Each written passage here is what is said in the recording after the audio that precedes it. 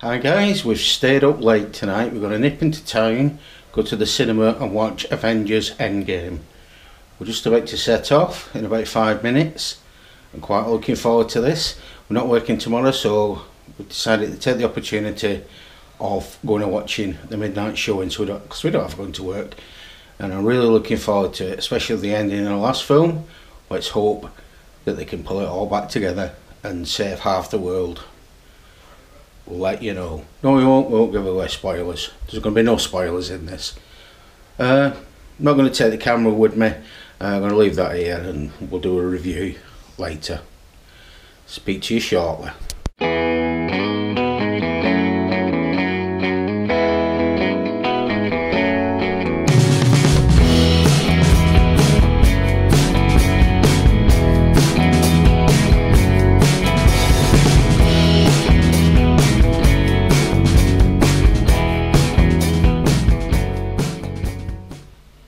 Okay guys, this is how we set up a shot. Okay guys, we went and watched a film last night. Um, consequently, we're extremely knackered. Uh, that film was Avengers Endgame. We went and watched the midnight showing and it was fantastic. Excellent. Excellent film. Okay, I, mean, I don't want to give too much away. In fact, I'm not going to give any any spoilers away. But it was a fantastic film, uh, following on obviously from Infinity War, and the resolution. There's a few surprises in there. Um, on the whole, the the film itself, it was it was really well done.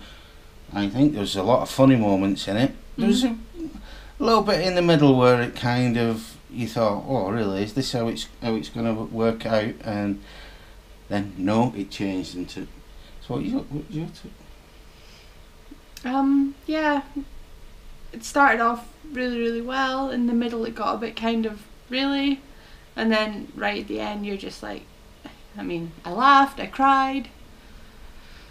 I didn't cry, but I laughed. There's, there's quite a, a few funny moments in it. Uh, the s- start and the middle were a little bit, oh, come on. You know, is this really necessary? I do think there's a few scenes in there, although the, the build up, build up, I think they could have done differently and they could have knocked some of the three hour run time off, couldn't they? Yeah, it was like four in the morning before we got home last Yeah. night. But on the whole, well worth watching. Well worth watching. Uh, there's quite a few surprises in there, so be ready for that. Um, not going to give away how, how they did it, but it was bloody good. Yeah, Yeah. no, no, absolutely no spoilers. We wouldn't want anybody to do that to us, so we're not going to do it to you guys. Yeah, long film, well worth watching, and out of five, I would give it a four and a half out of five myself personally.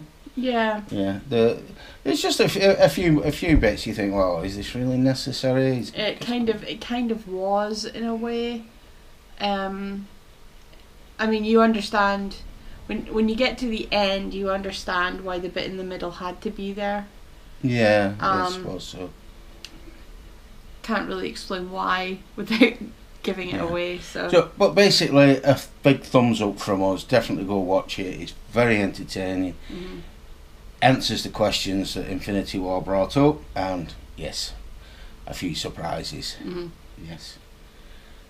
Oh, and no, I'm not going to say that. I was going to say something. I'm going to say yes, I know. no. I know what you were gonna say. I know you can't say that. no.